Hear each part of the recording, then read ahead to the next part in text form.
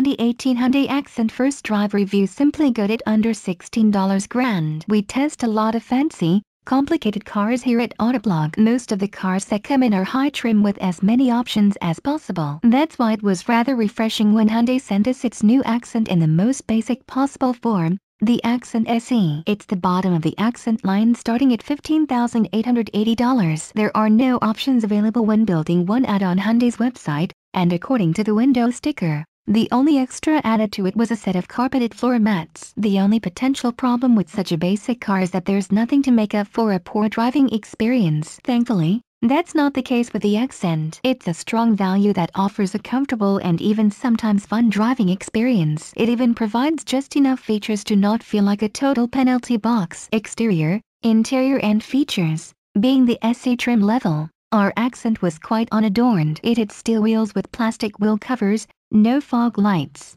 nothing extraneous. Despite that, it wasn't a bad-looking little thing, sporting slightly shrunken Elantra looks that aren't too far out of proportion. Appealing to this editor was the manual transmission, which is only available on this bare bones trim. The interior feels about as basic and cheap as the exterior, and is easily one of the weakest points of the little car. The dash and door panels look as though they were molded as one unit from the same hard black plastic. There are only a couple of light gray trim pieces to keep it from looking too bleak, but it feels like a somewhat half-hearted attempt. The good news is that Hyundai doesn't completely penalize you for picking the base trim level. You still get the necessities such as cruise control, power windows and locks, air conditioning, USB and Bluetooth connectivity, six-way adjustable seats, and even hill start assist and rear view camera. In the Accent's cousin, the Kia Rio, you miss out on the cruise control and power windows and locks. But in the Rio's favor is a far more stylish design that shows cheap materials don't have to be drab and dull. All the Accent's controls feel good and are intuitive,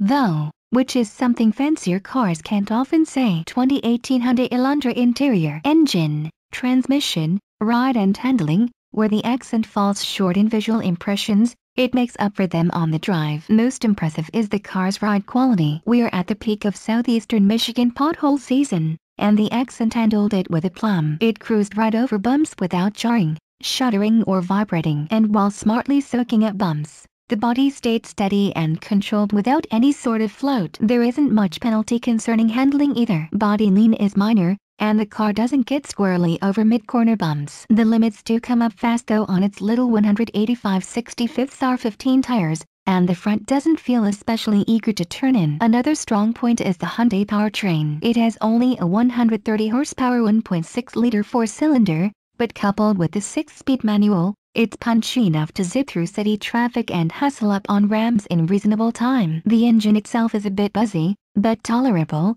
and it provides 28 mpg in the city and 37 on the highway with the manual. The automatic adds another mpg to the highway number 438. The manual shifter is a pleasant surprise. It's smooth, light and precise. Coupled with well-placed pedals, a firm communicative brake pedal, and a responsive throttle, it was easy to do some heel and toe shifting and actually have a fair amount of fun driving this little car. The only letdown was the steering, which was average at best. It's weighted fine, but it's numb and a bit imprecise, so it's hard to know where the front tires are pointing and what they're